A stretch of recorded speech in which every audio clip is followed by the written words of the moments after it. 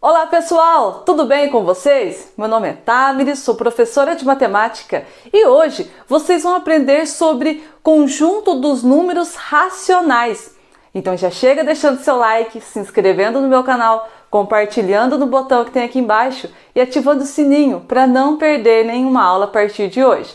Pessoal, antes de começar a falar sobre o conjunto dos números racionais, primeiro a gente vai relembrar os outros dois conjuntos que surgiram primeiro que os números racionais. Então veja bem, o conjunto dos números naturais, que é representado pela letra N.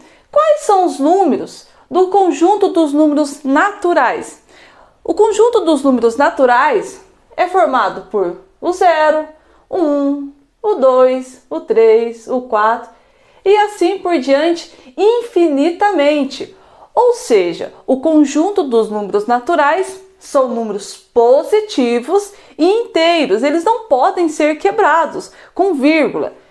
E o conjunto dos números inteiros, que é representado pela letra Z? Quais são os números que representam o conjunto dos números inteiros? É infinito, né? Para a esquerda. Então, é o menos 3, menos 2, 1, 0, 1, 2, 3 e infinitamente para a direita. Então, o conjunto dos números inteiros são todos os números positivos inteiros e também os números negativos.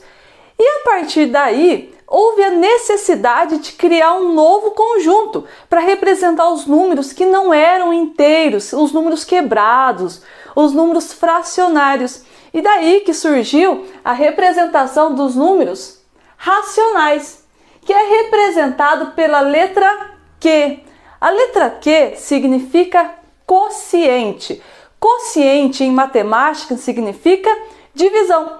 Então, o conjunto dos números racionais são todos os números que podem ser representados na forma de A dividido por B, com A e B inteiros e B diferente de zero. Por que, que o B não pode ser zero?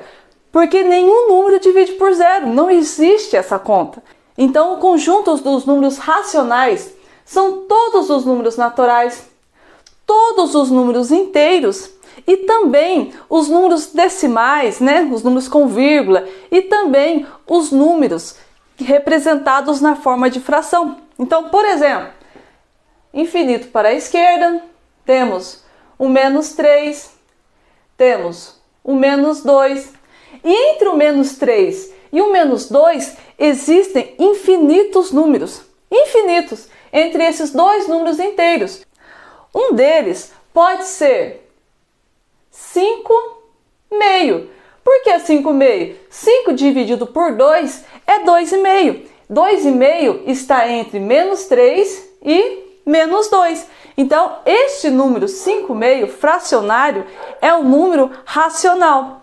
Também temos o menos 1, o zero, o 1 quarto.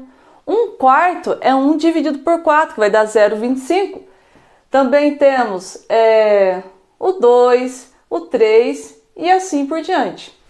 Ou seja, o conjunto dos números racionais são todos os números naturais, inteiros e aí surgem os números racionais, representado pelo diagrama de Venn. Então, todo número inteiro é racional, todo número natural também é racional. Ok, gente? Muito tranquilo até aqui, né? E agora nós vamos aprender o que, é módulo de um número racional. Então vamos lá. Módulo de um número racional. O que, que é módulo? Módulo é a distância do número em relação ao zero. Então, o módulo de um número sempre vai ser positivo, porque não existe distância negativa. Então, vejam, o módulo de menos 8 terços é 8 terços mesmo, é. só que positivo. Ou podemos fazer o módulo de 8 terços é igual a mais 8 terços. Tanto faz colocar o sinal de mais e não colocar o sinal de mais, que a gente sabe que esse número é positivo. Então, o modo de um número é sempre a distância dele em relação ao zero. Um número decimal, menos 2,75. O módulo desse número é 2,75. Ou pode colocar também o sinal positivo, 2,75. Ok, gente? Então, o número racional, o módulo dele sempre vai ser positivo. Quando dois números racionais de sinais contrários que têm o mesmo módulo, eles são chamados de opostos ou simétricos. Por exemplo, menos um quarto e mais um quarto. Eles têm o mesmo módulo, né? Que é um quarto, só que um é positivo, o outro é negativo. Quer dizer que eles são opostos ou simétricos. Outro exemplo, é menos 0,83 e mais 0,83. Eles têm o mesmo módulo, né? Que é 0,83. Um é negativo, outro é positivo, quer dizer que são opostos, números opostos, que, que é o mesmo numeral, só que com um sinal contrário. E agora eu vou explicar para vocês como localizar os números racionais na reta numérica. Fica comigo até o final. E como que a gente faz para localizar os números racionais na reta numérica? Gente, é muito simples, né? Quando eles são inteiros, né? 1 menos 1 e menos 2 e assim por diante, é super tranquilo. E quando é em fração e em decimal, também é tranquilo, só que a gente tem que tomar um pouco mais de cuidado. Então veja bem, nós vamos, nós vamos localizar todos esses números aqui nesta reta numérica. Então vejam, primeiro número, 6 décimos, que é 0,6. Este número é menor que 1, não é? Então quer dizer o quê? Que 0,6 ele vai ser maior que 0 e menor que 1. Como ele é 6 décimos, nós vamos pegar entre o 0 e 1, nós vamos dividir em 10 partes e vamos pegar a sexta parte. Ou poderia dividir no meio aqui e pegar um pouquinho à direita, né? A gente vai dividir em 10 partes. Então vai ficar 1, 2, 3, 4, 5, 6, 7, 8, 9, 10. E vamos pegar a sexta parte. Então, 1, 2, aqui ó, 0,1, 0,2, 0,3, 0,4, 0,5, 0,6. Então, neste ponto está representado o 6 décimos, que é 0,6. E o 7 terço? Como que a gente vai achar esse número, essa fração na reta numérica? Eu prefiro transformar essa fração em um número decimal, dividir o 7 por 3. Mas nós podemos também transformar ele em um número misto, porque a gente sabe que ele é maior que 1, né? porque 7 dividido por 3 vai dar um número maior que 1. E para transformar em número misto, o que, que a gente faz? Ó, fazendo um cantinho aqui, ó. 7 terço. É a mesma coisa que 6 terço mais 1 terço, não é? Porque 6 mais 1, 7 e repete o 3. Esse 6 terço é a mesma coisa que 2 inteiros e 1 terço. Concordam comigo? Então, 7 terços é a mesma coisa que 2 inteiros e 1 terço. Ou seja, 7 terços ele é maior que 2 e menor que 3. 3, ele está entre 2 e 3. Eu vou pegar só essa parte aqui, ó, de 1 terço e vou localizar aqui na reta. 1 dividido por 3, eu vou pegar de 2 até 3 e dividir em 3 partes. Uma, duas, três partes e vou pegar uma parte. Ou seja, 7 terços está localizado aqui. Muito fácil, não é, gente? Mas, como eu disse, eu acho mais fácil transformar em número decimal. O que, que a gente faz? Ó, pega o 7, divide por 3. 2 vezes 3 que vai dar 6, sobra 1.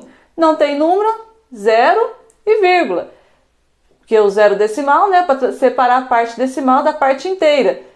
3 vezes 3 que vai dar 9, vai sobrar 1 e assim por diante. Então vai dar uma dízima periódica. dois inteiros e 33,333. Ou seja, vai estar exatamente neste lugar aqui. Muito fácil, não é? Ok. E menos 2 quintos? Aonde será que está localizado esta fração aqui na reta numérica? Vejamos, é um número negativo, né? Então quer dizer que ele é menor que zero. Como é 2 dividido por 5, o numerador é menor que o denominador, quer dizer que é um número menor que zero. Ou seja, ele vai estar entre zero e menos 1. Como que eu vou fazer para localizar?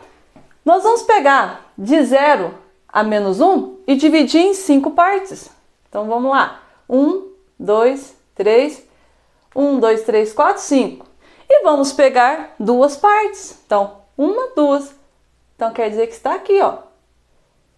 Menos 2 quintos. Está localizado exatamente aqui. Mas se a gente quiser transformar em decimal, fica mais fácil. Divide 2 por 5. Como não dá, 0, 0, 4 vezes 5 que vai dar 20. Beleza. Ó, no meio aqui é 0,5. Como é 0,4, é um pouquinho antes do da metade entre menos 1 e 0. Muito tranquilo, né? Então você escolhe ou transforma em decimal e localiza na reta, que eu acho mais fácil, ou pega a fração e localiza na reta também, que vai dar tudo certo. E o 2? Como não tem sinal, a gente sabe que ele é positivo. Ele está aqui. 2,75, né? 75 centésimos. Gente, na metade aqui, ó, a gente sabe que é 2,5. Como é 75 centésimos, ele vai estar mais ou menos aqui, ó. Exatamente aqui, na verdade. Então vai dar 2,75. E o 3 positivo vai dar exatamente aqui. E aí, gente, vocês gostaram desta aula? Vocês entenderam como localizar o número na reta numérica? É muito tranquilo. Então eu prefiro, como eu disse, transformar a fração em decimal. São duas formas que eu expliquei e aí você escolhe uma e leva para a vida. Não se esqueça de deixar o seu like, inscrever-se aqui no meu canal, comentar se gostou dessa aula, compartilhar com seus amigos. Aprende? Compartilha!